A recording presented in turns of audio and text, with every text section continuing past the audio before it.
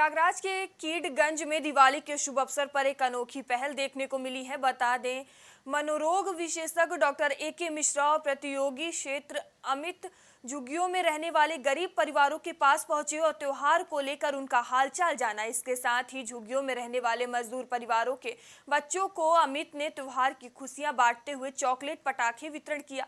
वहीं चॉकलेट और पटाखे देखकर गरीब बच्चों के चेहरे खिल उठे। इसके साथ ही डॉक्टर ए के मिश्रा ने पटाखे से होने वाले प्रदूषण के प्रति बच्चों को जागरूक भी किया।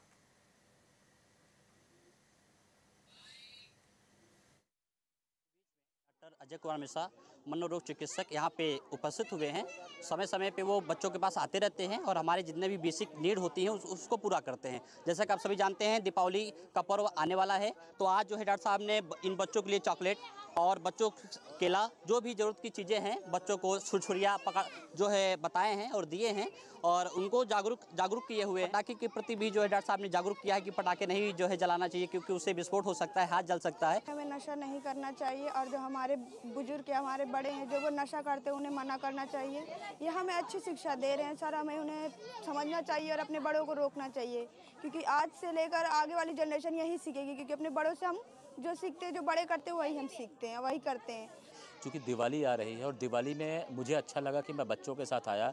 इनको अवेयर किया कि दिवाली कैसे सेलिब्रेट करना है, दिवाली कैसे मनानी है। पटा पटाखों के प्रति जागरूक किया और उनको बताया। तो उन्होंने कहा, नहीं पटाखे बड़े पटाखे या बम टाइप की चीज़ें नहीं बजानी चाहिए। छुरछुरी से, जो है छुरछुरिया से दिवाली सेलिब्रेशन करना चाहिए। और मुझे अच्छा लगा कि बच्चों को सारी चीज़ें पता हैं और उनके साथ दिवाली सेलिब्रेट करके जो भी मैंने छोटा मोटा इनके लिए किया बट वो मुझे अच्छा लगा। दिवाली सेलिब्रेशन या कोई भी त्यौहार का सेलिब्रेशन अगर मैं इनके साथ करता हूँ तो मुझे एक अच्छी खुशी महसूस होती है। जो बच्चे जैसे छोटे बच्चे हैं, मुझे बहुत दुख होता है जब छोटे बच्चे भीख मांगने किसी लाइट मतलब रेड लाइट या किसी जगह इकट्ठे होते हैं। और कोई छोटे बच्चों को मैं हमेशा से कॉलेज टाइम पे मैं देखता था कि वो नशे का इस्तेमाल करते हैं। मुझे बहुत दुख होता है